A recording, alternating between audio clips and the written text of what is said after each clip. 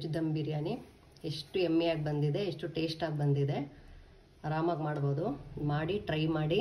ನನಗೆ ಕಮೆಂಟ್ ಮಾಡಿ ಹೇಗೆ ಬಂದಿತ್ತು ಅಂತ. ಬಾಸುಮತಿ ರೈಸ್ ಇಲ್ಲದೆ ನಾವು, ಮಾಮೂಲಿ ಅಕ್ಕಿಲು ಹೇಗೆ ಮಾಡ್ಬೋದು ಅಂತ ನೀವು ಮಾಡಿ. ನಮಸ್ಕಾರ. Welcome back to my channel Lakshmi's kitchen ಇವತ್ತಿನ ರೆಸಿಪಿ ನಿಮಗೆ special recipe veg dum biryani ಅದು ಬಾಸುಮತಿ ರೈಸ್ ಇಲ್ಲದೆ ಮಾಮೂಲಿ ಅಕ್ಕಿಯಲ್ಲಿ ಹೇಗೆ ಮಾಡೋದು ಅಂತ ನಾನು ನಿಮ್ಗೆ ಇವತ್ತು ಹೇಳ್ಕೊಡ್ತೀನಿ. ಹೇಳೋಕ್ಕಿಂತ ಮುಂಚೆ ನನ್ನ ಚಾನಲ್ಗೆ ಸಬ್ಸ್ಕ್ರೈಬ್ ಆಗಿ ಲೈಕ್ ಮಾಡಿ ಕಮೆಂಟ್ ಮಾಡಿ ಕಮೆಂಟ್ ಮಾಡೋದು ಮರಿಬೇಡಿ. ಬನ್ನಿ, ಹೇಳ್ಕೊಡ್ತೀನಿ. ಬನ್ನಿ ವೆಜ್ ದಮ್ ಬಿರಿಯಾನಿಗೆ ಮಸಾಲೆ ಏನೇನು ಬೇಕು ಅಂತ ಜಾರ್ಗೆ ಹಾಕ್ತಿದ್ದೀನಿ. ನೋಡಿ, ಇದು ಅರ್ಧ ಕಂತೆ ಕೊತ್ತಂಬರಿ. ಈರುಳ್ಳಿ ದೊಡ್ಡದು ಒಂದು.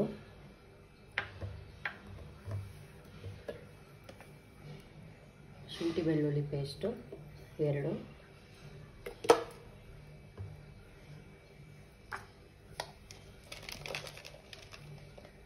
ದ್ರಾಕ್ಷಿ ಒಂದು ಇಪ್ಪತ್ತೈದು ಇಪ್ಪತ್ತರಿಂದ ಇಪ್ಪತ್ತೈದು ಇದೆ.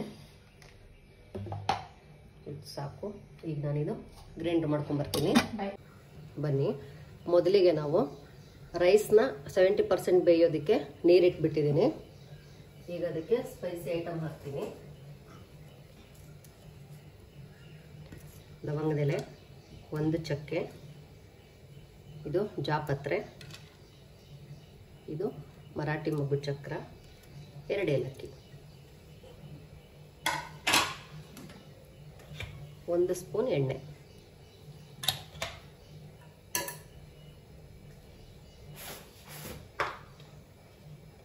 ಸಾಲ್ಟು ಕಾಲು ಚಮಚ. ಈಗ ಇದು ನೀರು ಬಿಸಿ ಆಗಲಿ. ನಾನೀಗ ಇದು ಲಿಡ್ ಕ್ಲೋಸ್ ಮಾಡ್ತೀನಿ. ನೀರು ಬಿಸಿ ಆಗೋವರೆಗೂ ನಾವು ಒಗ್ಗರಣೆ ಹಾಕ್ಕೊಳ್ಳೋಣ ಮನೀಗ ದಮ್ ಬಿರಿಯಾನಿಗೆ ಎಣ್ಣೆ ಹಾಕ್ತಾ ಇದ್ದೀನಿ. ಎರಡು ಬೌಲಷ್ಟು. ಒಂದು ಸ್ವಲ್ಪ ಎಣ್ಣೆ ಜಾಸ್ತಿ ಇದ್ದರೆ ಚೆನ್ನಾಗಿರುತ್ತೆ. ಎಣ್ಣೆ ಬಿಸಿಯಾಗಿದೆ ಈಗ. ಈಗ ನೋಡಿ, ಲವಂಗದೆಲೆ. ಅಲ್ಲಿ ನೀರು ಬೇಯೋದಕ್ಕೂ ಒಂದೊಂದು ಹಾಕಿದ್ದೀನಿ. ಅದಕ್ಕೆ ಇಲ್ಲಿ ಕಮ್ಮಿ ಹಾಕ್ತಾ ಇದ್ದೀನಿ. ನೋಡಿ, ಚಕ್ಕೆ ಒಂದನ್ನು ಮುರಿದಿದ್ದೀನಿ. ಮರಾಠಿ ಮುದ್ದೆ. ಜಾಪತ್ರೆ ನಾಲ್ಕು ಏಲಕ್ಕಿ. ಒಂದು ಸ್ಪೂನಷ್ಟು ಮೆಣಸು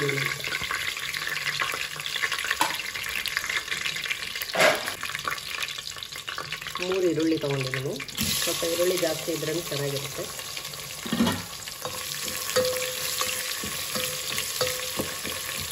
ಈರುಳ್ಳಿ ಫ್ರೈ ಆಗಲಿ.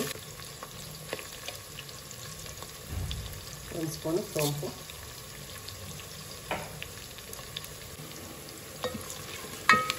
ಈರುಳ್ಳಿ ಫ್ರೈ ಆಗಿದೆ. ಈಗ ಮೂರು ಟೊಮ್ಯಾಟೊ ತೊಗೊಂಡಿದ್ದೀನಿ. ಟೊಮೆಟೊ ಬೇಯೋದಕ್ಕೆ ಅರ್ಧ ಸ್ಪೂನ್ ಉಪ್ಪು ಹಾಕ್ತೀನಿ. ಬೇಗ ಬೇಯಲಿ. ಟೊಮಾಟೊ, ಈರುಳ್ಳಿ ಫ್ರೈ ಆಗೋವರೆಗೂ ತರಕಾರಿ ಹಾಕಬಾರ್ದು.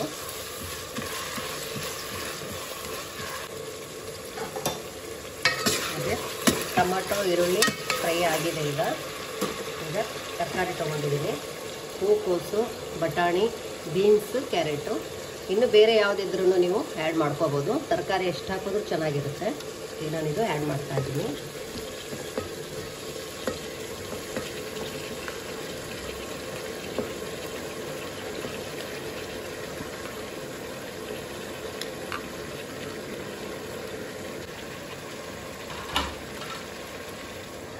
ಇದು ದಪ್ಪ ಮೆಣಸಿನ್ಕಾಯಿ ಇದು ಮಿಕ್ಸ್ ಮಾಡೋಣ ಚೆನ್ನಾಗಿ.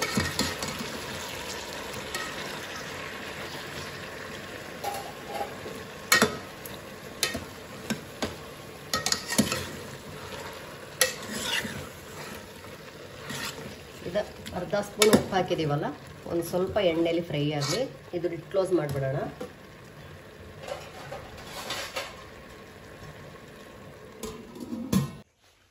ಇವತ್ತಿನ ಟಿಪ್ಸ್ ನಿಮಗೆ?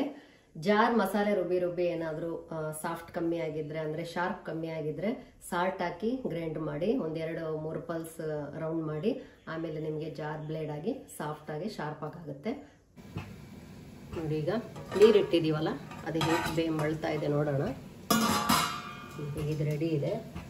ಇದಕ್ಕೆ ನಾವೀಗ ಅಕ್ಕಿ ಹಾಕೋಣ. ನೋಡಿ, ಇದು ಬಾಸುಮತಿ ರೈಸ್ ಅಲ್ಲ, ನಾವು ಮನೇಲಿ ಮಾಡೋದೇ ಬೇಟಿ ಅಕ್ಕಿ ಇದು. ಬಾಸುಮತಿ ರೈಸ್ ಬೇಕು ಅಂತ ಏನಿಲ್ಲ. ನಾನು ಮಾಮೂಲು ಅಕ್ಕಿಲೂ ದಮ್ ಬಿರಿಯಾನಿ ಮಾಡೋದು ಹೇಗೆ ಅಂತ ನಿಮಗೆ ಹೇಳ್ಕೊಡ್ತಾ ಇರೋದು. ನಾನು ತೊಳೆದು ಕ್ಲೀನ್ ಮಾಡಿ ಇಟ್ಕೊಂಡಿದ್ದೆ. ಎರಡು ನಿಮಿಷ ಆಗಿದೆ ಅಷ್ಟೇ. ಈಗ ನಾನು ಇದಕ್ಕೆ ಹಾಕ್ತಾ ಇದ್ದೀನಿ.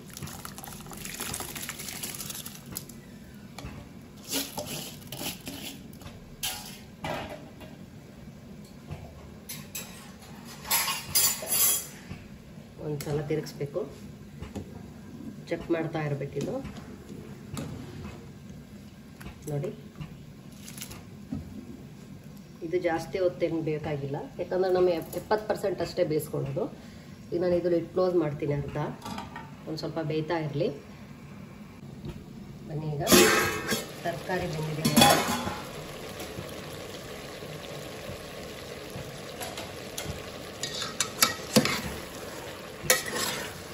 ಈಗ ಎಣ್ಣೆ ಫ್ರೈ ಆಗಿದೆ. ಇದಕ್ಕೀಗ ಸ್ಪೈಸಸ್ ಹಾಕೋಣ ನಾವು ರುಬ್ಬಿರೋ ಮಸಾಲೆ. ನೋಡಿ, ಮಸಾಲೆ ರುಬ್ಬಿದ್ವಲ್ಲ?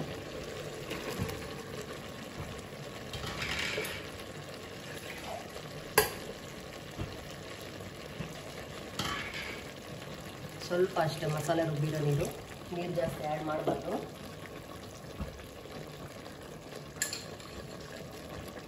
ಗರಂ ಮಸಾಲ, ಎರಡು ಸ್ಪೂನು.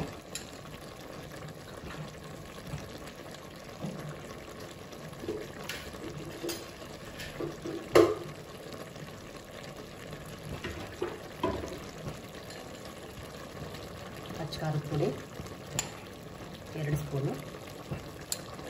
ಬೇಕು ಅಂದರೆ ನೀವು ಜಾಸ್ತಿ ಹಾಕ್ಕೋಬೋದು. ಖಾರ ಬೇಕು ಅಂದರೆ. ಈಗ ಉಪ್ಪು ನಾವು ಅರ್ಧ ಸ್ಪೂನ್ ಹಾಕಿದ್ವಿ.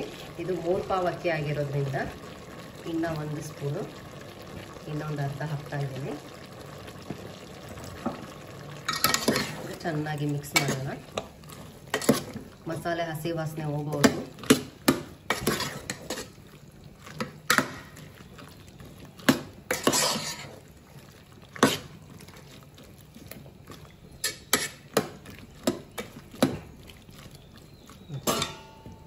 ಇದು ಕ್ಲೋಸ್ ಮಾಡೋಣ. ಒಂದು ಕುದಿ ಬರಲಿ ಇದು. ಈ ಕಡೆ ಅಕ್ಕಿ ಹೇಗೆ ಬೆಂದಿದೆ ನೋಡೋಣ. ಯಾವ ಲೆವೆಲಲ್ಲಿ ಬೆಂದಿದೆ ಅಂತ. ಇದು ನಾವು ಮಾಮೂಲು ಅನ್ನ ಮಾಡೋ ಅಕ್ಕಿ ಆಗಿರೋದ್ರಿಂದ ಒಂದು ಸ್ವಲ್ಪ ನೋಡ್ಕೋಬೇಕು. ಯಾಕಂದರೆ ಇದು ಸಾಫ್ಟ್ ಇರುತ್ತೆ. ಬಾಸುಮತಿ ನಿಮಗೆ ಗಟ್ಟಿ ಪದಾರ್ಥ ಅದು. ಇದು ಬೇಗ ಬಡ್ದೋಗ್ಬಿಡುತ್ತೆ ಚೆಕ್ ಮಾಡ್ತಾ ಇರ್ಬೇಕು ಈ ರೀತಿ. ಇದು ಒಂದು, ಇನ್ನೊಂದು ನಿಮಿಷ ಅಷ್ಟೇ. ತೋರಿಸ್ತೀನಿ ನಿಮಗೆ ಯಾವ ಲೆವೆಲಲ್ಲಿ ನೀವು ಗ್ಯಾಸ್ ಆಫ್ ಮಾಡಿ ಅನ್ನ, ಅಕ್ಕಿನ ನಾವು ಫಿಲ್ಟರ್ ಮಾಡಬೇಕು ಅಂತ. ಇನ್ನೊಂದು ಸ್ವಲ್ಪ ಹೊತ್ತಾಗಲಿ ಇದು.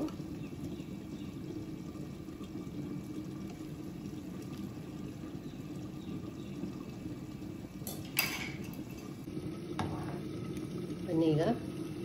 ಇದು ಯಾವ ಲೆವೆಲಿಗೆ ಬೆಂದಿದೆ ಅಂತ ತೋರಿಸ್ಕೊಡ್ತೀನಿ ನಿಮಗೆ. ನೋಡಿ.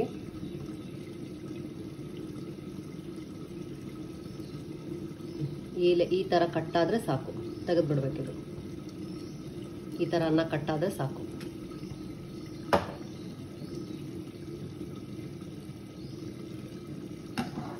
ಈಗ ಫಿಲ್ಟರ್ ಬೌಲಿಗೆ ಹಾಕ್ತೀನಿ ನಾನು. ನೋಡಿ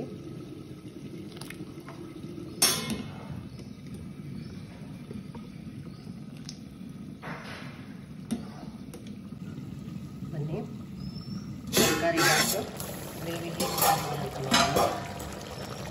ನೋಡಿ ಈಗ ಇದು ಪರ್ಫೆಕ್ಟಾಗಿ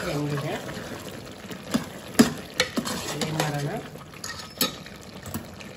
ಒಂದು ಸ್ವಲ್ಪ ಅರ್ಧ ತಗೊಂಡ್ಬಿಡೋಣ ಇದು ದಮ್ ಹಾಕೋಣ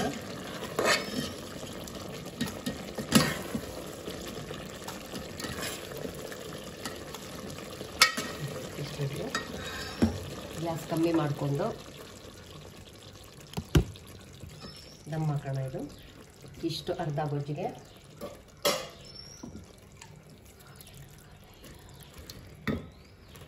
ಅರ್ಧ ರೈಸ್ ಹಾಕ್ತಾ ಇದ್ದೀನಿ ದಮ್ಗೆ. ಥರ ಹರಡಿ. ಕೊತ್ತಂಬರಿ ಸೊಪ್ಪು ಸ್ವಲ್ಪ. ಈರುಳ್ಳಿ ಫ್ರೈ ಮಾಡಿ ಇಟ್ಕೊಂಡಿದ್ನಲ್ಲ ಡೀಪ್ ಫ್ರೈ ಮಾಡಬಾರ್ದು.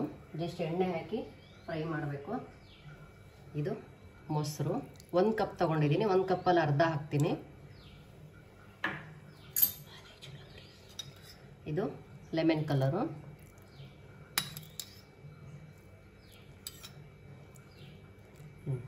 ಇದು ಒಂದು ಲೇಯರ್ ಕಂಪ್ಲೀಟ್ ಆಯಿತು. ಈಗ ಇನ್ನೊಂದು ಲೇಯರ್ಗೆ ನಾನು ಹಾಕ್ತೀನಿ.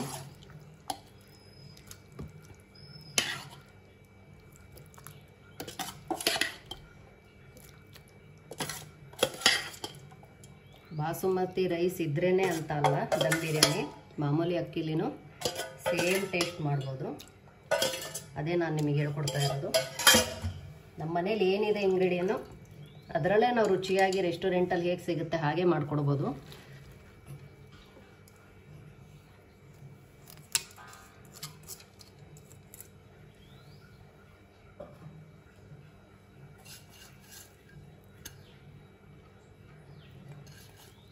ಸೇಮ್ ಈರುಳ್ಳಿ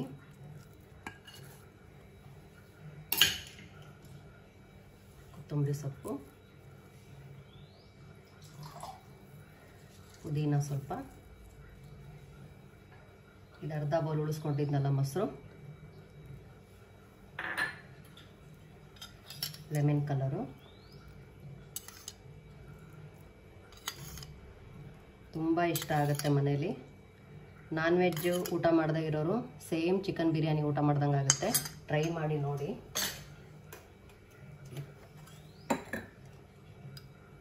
ಇದು ತುಪ್ಪ.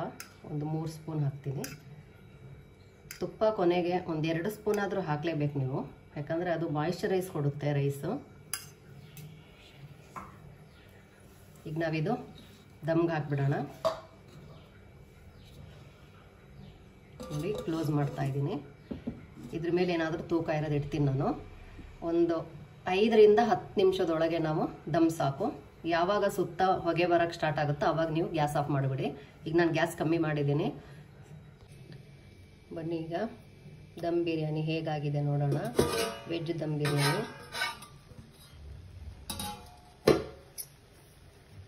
ನೋಡಿ. ಚೆನ್ನಾಗಿ ಬಂದಿದೆ ನೋಡಿ. ಬಾಸುಮತಿ ರೈಸ್ ಇಲ್ಲದೆ ನಾವು ಮಾಮೂಲಿ ಅಕ್ಕಿಲು ವೆಜ್ ದಮ್ ಬಿರಿಯಾನಿ ಮಾಡಬಹುದು ನಾನು ತೋರಿಸ್ಕೊಟ್ಟಿದ್ದೀನಿ ನೋಡಿ ಹೇಗೆ ಅಂತ. ಈಗ ನಾನು ಸರ್ವಿಂಗ್ ಪ್ಲೇಟ್ಗೆ ಹಾಕ್ತೀನಿ.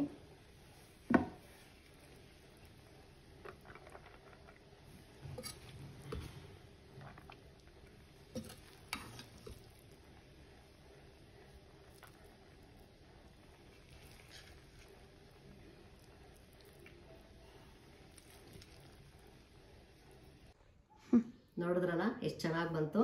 ವೆಜ್ ದಮ್ ಬಿರಿಯಾನಿ. ನಿಮ್ಮ ಮನೇಲಿ ಅನ್ನ ಮಾಡೋ ಅಕ್ಕಿಲೇ ನೀವು ವೆಜ್ ದಮ್ ಬಿರಿಯಾನಿ ಹೇಗೆ ಮಾಡೋದು ಅಂತ ನೋಡಿದ್ರಲ್ಲ, ಹೇಳ್ಕೊಟ್ನಲ್ಲ. ಅದೇ ರೀತಿ ಫಾಲೋ ಮಾಡಿ, ಆರಾಮಾಗಿ ಮಾಡ್ಬೋದು. ರೆಸ್ಟೋರೆಂಟ್ ಸ್ಟೈಲ್ ಟೇಸ್ಟ್ ಬರುತ್ತೆ ಮನೆಯಲ್ಲಿ ಎಲ್ಲರೂ ಇಷ್ಟಪಡ್ತಾರೆ. ನನ್ನ ಚಾನಲ್ಗೆ ಹೀಗೆ ಹೊಸ ಹೊಸ ರೆಸಿಪಿ ಹೊಸ ಹೊಸ ಟಿಪ್ಸ್ ನಿಮಗೆ ಬೇಕು ಅಂದರೆ ನನ್ನ ಚಾನಲ್ಗೆ ಸಬ್ಸ್ಕ್ರೈಬ್ ಆಗಿ ಲೈಕ್ ಮಾಡಿ ಕಮೆಂಟ್ ಮಾಡಿ. Thank you